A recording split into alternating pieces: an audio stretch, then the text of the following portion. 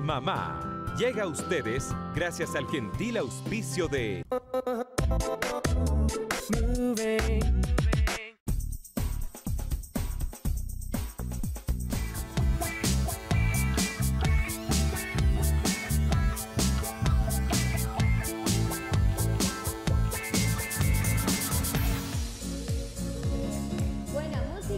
Excelente ambiente aquí en nuestro segmento Más Mamá, hoy jueves 12 de septiembre.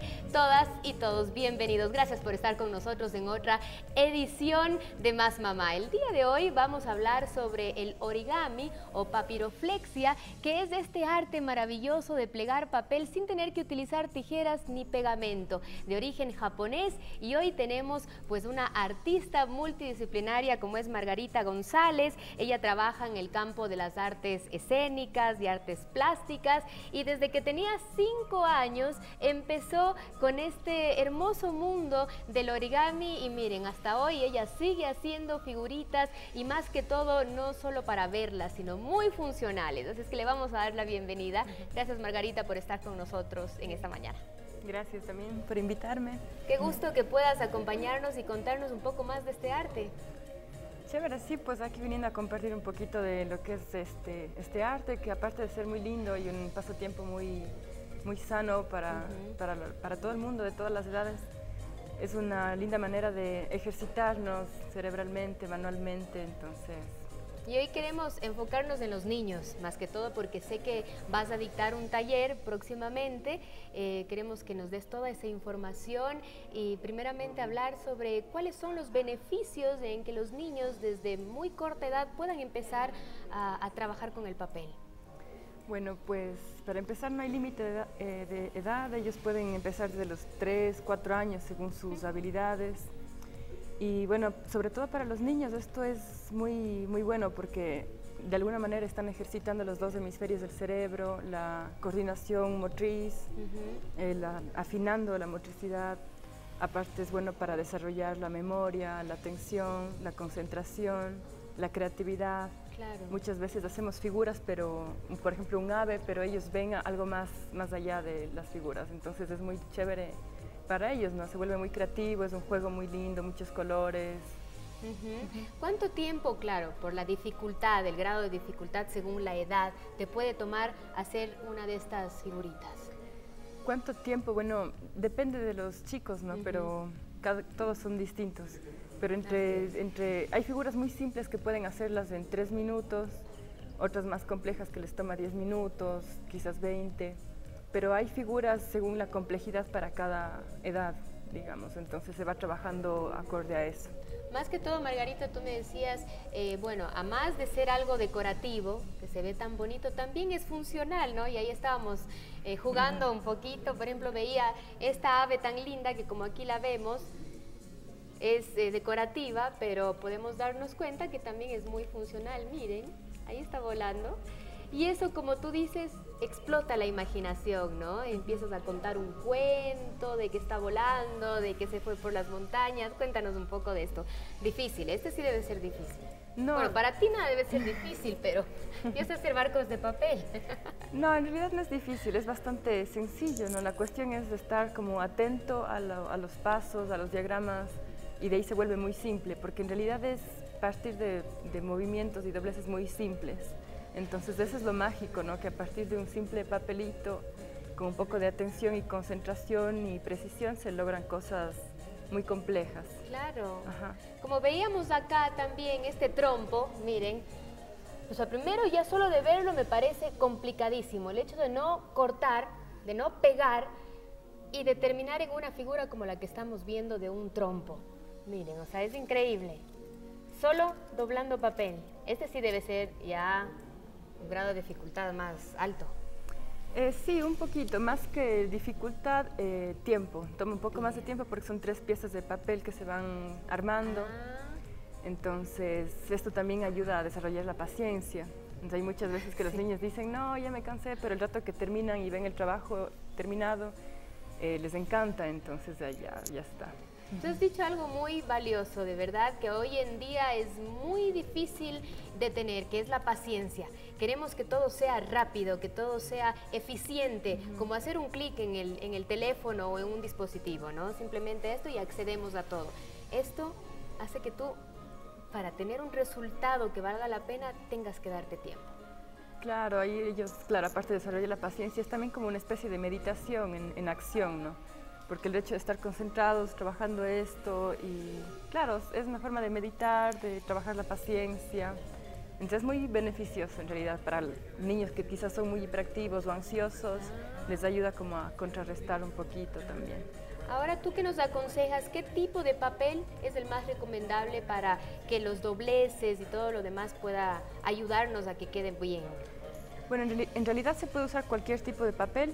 Em, pero bueno, en mis talleres generalmente uso papel brillo, que es como económico y tiene colores bastante vivos, o papel iris también, que es color de los dos lados, un solo color, que son como los más firmes para trabajar y aparte los colores.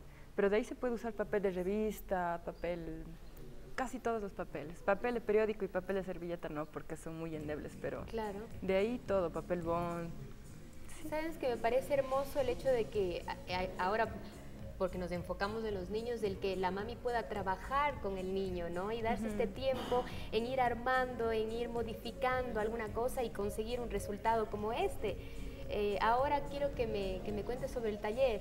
¿Esto va netamente solo para niños ahora? Sí, este taller... ¿Pueden ir las mamás? Eh, bueno, pueden ir las mamás de acompañante en realidad, pero el taller es enfocado solo a los niños entre 8 a 13 años más o menos, que ya están en capacidad de hacer un montón de figuras. Ellos reciben mi asistencia, entonces no es necesario que estén las mamás, pueden acompañar. Igual próximamente va a haber un taller para adultos que será en octubre, pero este sí es enfocado en niños, son figuras mucho más simples para ellos, más divertidas, un poco más funcionales, como juguetes, eh, así por ahí. ¿Cuándo es este curso? Este taller va a ser el 21 de septiembre en Celina. Tiene un valor de 15 dólares, son dos horas de 10 a 12 eh, e incluye materiales. Vamos a trabajar con papel brillo y papel iris que mencioné antes, pero también vamos a utilizar papel de diseño, que son papeles que por lo general encargo al exterior, que son con dibujos, colores, texturas. Eh, papeles propios de origami que usan en Japón, entonces la idea es como dar a conocer las calidades de papel a los chicos, Tú me comentabas uh, algo eh, súper interesante, que por ejemplo en Japón el origami es como una materia que los chicos tienen que pasar para poder seguir y continuar en los grados, ¿no? Claro, más que ser así como una materia, sí es, sí es como un paso importante para saber si las personas están listas para avanzar de nivel a nivel.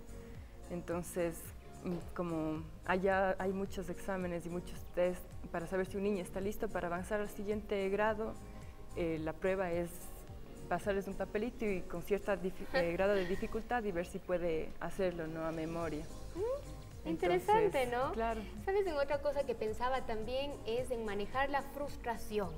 Porque mm. claro, a veces empiezas algo, pero no te sale, no lo consigues, es como, ah, yo no puedo, no, no lo consigo, no quiero, me voy. Y me frustro y no lo logro. Yo me imagino que en estos casos tendrás muchos chicos que empiezan a hacer, se equivocaron y se frustran y ya no quieren pero así mismo es la vida. No conseguimos todo tan fácil y nos frustramos y a veces no sabemos cómo manejarlo y ahí vienen complicaciones. Claro, sí me ha pasado muchas veces que, claro, los chicos se, se frustran porque no salen las figuras, pero bueno, ahí para eso está uno también, como con mucha paciencia, ayudarles a trabajar así como, como suavemente. Entonces, ellos lo van logrando poco a poco, igual como todo es práctica, entonces ahí con la práctica van, lo van logrando. La práctica es al maestro, efectivamente. Así es que todos cordialmente invitados, Margarita, si es que les recordamos el número de teléfono a donde pueden, ya se me cayó todo, a donde pueden llamar, ahí está en pantalla para comunicarse contigo y acceder a este maravilloso taller de origami para niños. Vale la pena. Recordemos desde el número. Eh, mi número es el 0999 43 8206. Perfecto, listo. Nos vamos aquí a quedar jugando un poquito eh, con este trompo que me encantó. Y bueno, ojalá yo también pueda llevarles a, mis hijos para que puedan hacer un poco de origami, que de verdad les encanta. Han intentado, sí han hecho y de verdad cuando consiguen ya que la figura se plasme y puedan verla, la gratificación eh, vale, vale, vale la pena. Así es que yo creo que sí, eh, vamos a invitarles a todos a que accedan. Recuerden que estamos en nuestras redes, también en nuestro canal de YouTube, en Unción TV como Más Mamá, si es que quieren nuevamente ver el programa y escuchar toda la información que les hemos brindado. O arroba Ana María Apolo en Instagram y en Facebook. Ahí estamos para poner toda la información de nuestros invitados. Margarita González el día de hoy nos ha acompañado. Eh, ¿Hasta cuándo vas a hacer esto? Hasta que el tiempo te lo permita. Eh, claro. Pero yo me imagino que tú ya harás una figura y como que quieres más. Eh, sí, o sea, claro. ¿Cómo aprendes? O sea, solo de tu imaginación vas doblando para ver qué consigues o ves videos o tú también vas a cursos, ¿cómo consigues hacer más? Bueno, la manera que a mí personalmente me ha servido más es leyendo libros, entonces encargo libros, porque aquí no hay muchos libros. Y bueno, personalmente ya me gusta pasar de figuras más simples a estructuras más complejas, otro tipo de formas, otro tipo de estructuras modulares, pero sí, en realidad hoy en día se puede aprender muchísimo en internet, en YouTube, hay cursos, hay páginas, pero sobre todo los libros, como para no perder ese romanticismo de, leer el libro también. Eso es algo también valioso, ¿no? Algo que debes rescatar, que hoy en día los niños lo están perdiendo. No hay tiempo para la lectura y para eh, comparar el hecho de tener una tablet con un libro. El olor, el hecho de pasar la página, de tocarla, es muy diferente. Así es que sí, vale la pena también decirles que la lectura es algo incomparable. Eh, no tienes que prenderla, nunca se acaba la batería, entonces imagínense, yo creo que es mucho mejor. sí. Gracias Margarita. Nuevamente para despedirnos, hacerles la invitación a todos para que vayan a tu taller. Listo, gracias también y bueno, pues les esperamos, ahí avísenme, son cupos limitados, entonces pilas éxitos en, el taller y de, de, seguro van a estar ahí muchos chicos presentes. Recuerden este 21 de septiembre. Aquí nos despedimos. Gracias por estar con nosotros en una edición más de, valga la redundancia, Más Mamá. Chao.